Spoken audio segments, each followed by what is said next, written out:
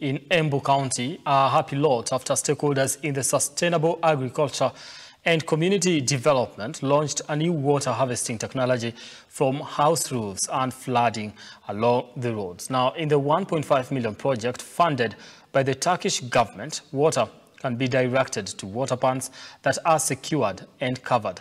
The residents have been urged to take advantage of the heavy rains to collect and store water for dry days ahead. In an effort to mitigate water shortage and alleviate drought crisis, the Director Sustainable Agriculture Development Program Kenya has noted that in partnership with TIKA, residents of Evurovi in Embu County have benefited with 20 water ponds with a capacity of 50,000 liters each.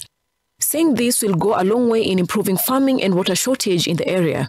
Tumefundisha wakulima na tumetengeneza um, mashimo ya kuweka maji kama ile unayoona hapa nyuma ambayo inaweka maji hayo imefunikwa na hiyo kitambaa kuwasaidia kuhakikisha kwamba eh, maji hachukuliwi haraka na jua. Uh, kiini cha mradi huu ni kufunza watu wa eneo hili zaidi mafunzo ambayo tunaenda tunasema ni mafunzo practical ya kujifanyia wao wenyewe ili waone ya kwamba huu eh, mambo ya uvunaji wa maji unawezekana na sio kazi mingi, sio kitu kikubwa.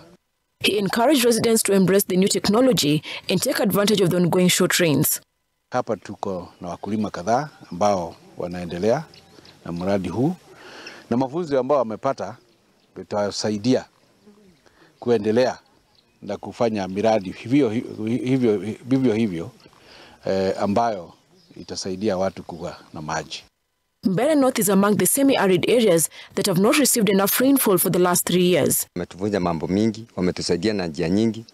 Kitu ya kwanza wametufunza mambo ya kuhifadhi mbegu za kikwetu, kwa sababu hizo mbegu ndizo zinaambatana na ile mvua ina ambayo inanyesha huku kwetu.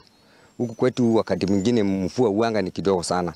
Esa Kari, a beneficiary, noted that life has changed after getting the water pans as she can now get access to fresh vegetables produced from her farm.